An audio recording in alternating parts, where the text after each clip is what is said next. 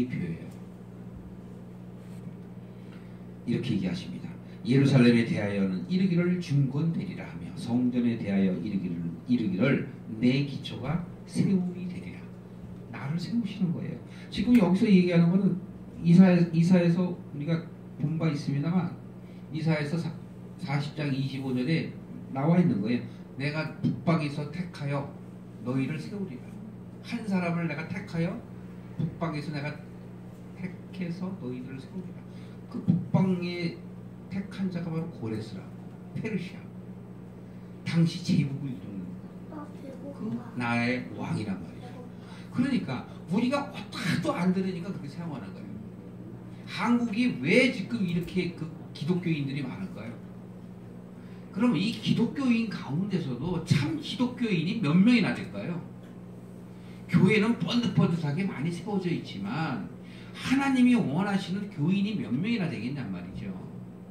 전부 자기의 복, 복을 위해서 기복 세상 복을 위해서 다니는 사람들 하나님은 그런 복은 우리 인생 가운데 잠깐인 세상 복을 얘기해요.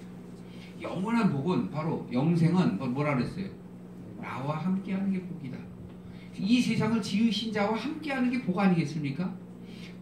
그냥 풀과 같이 꽃과 같이 그냥 쓰러져 가는 것을 택하시겠습니까? 아니면 영원하신 하나님을 택하시겠습니까? 여러분의 자유입니다. 여러분이 택하든 안 택하든 하나님은 여러분 앞에 문제를 던져놓으시고 나다 나다 삐져있는 여러분을 자꾸 잡아당기시면서 나야 라고 말씀하십니다. 프로포즈를 받는 여러분에게 승낙하느냐 승낙하지 않느냐는 여러분의 몫입니다. 주님 감사합니다. 오늘도 주님의 말씀 가운데 하나님의 그 사랑하심을 저희는 살펴봅니다.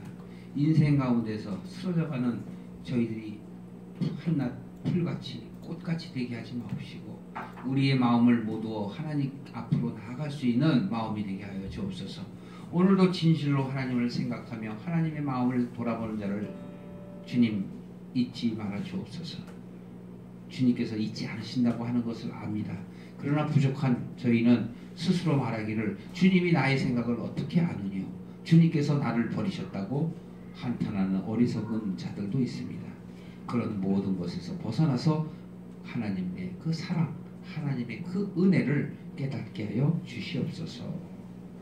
이제는 우리 주 예수 그리스도의 은혜와 하나님 아버지의 지극히 크신 그 사랑과 성령님의 감동과 역사심이 오늘 하나님의 말씀으로 그 프로포즈를 받은 주님의 백성 머리 위에 영원히 함께 계실지어다.